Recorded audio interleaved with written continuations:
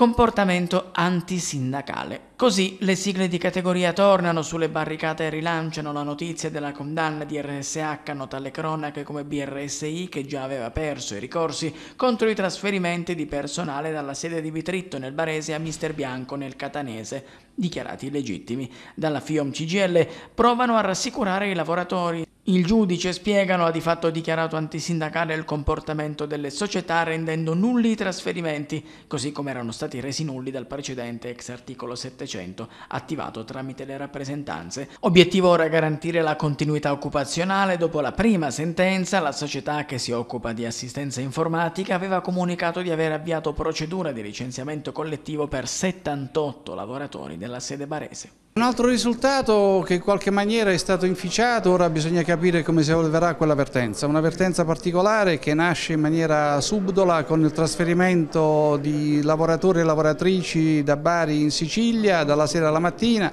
abbiamo impugnato il provvedimento in tribunale, subito dopo sono, arrivati, sono arrivate le lettere di licenziamento, adesso c'è un presidio, comunque contiamo di trovare una soluzione anche con l'intervento della Regione su tanti aspetti.